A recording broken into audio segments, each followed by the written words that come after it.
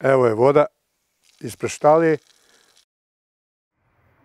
Evo voda u kući. Porodica Ninković koja živi u selu Kopite kod Višegrada dobila je vodu, čime je riješen dugogodišnji problem vodosnadbijevanja ovog mjesta.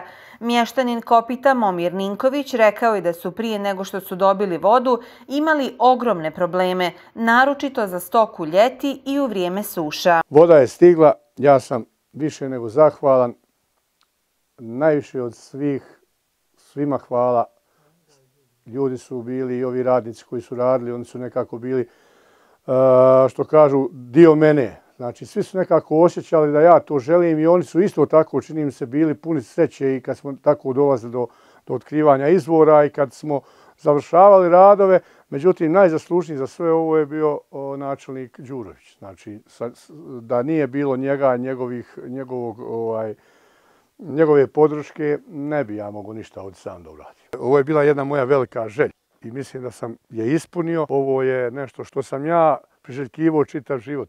Ovo je najveća investicija. Ne može se, ova voda nema poređena sa bilo čim. Mještanin Kopita Budimir Ninković rekao je da su prije za vrijeme suša morali dovoziti vodu iz okolnih sela udaljenih nekoliko kilometara. U Sjemeničkom polju po 48 sati si čekao s kolima i s volovima da nasmiješ burad kad ćeš doći na red.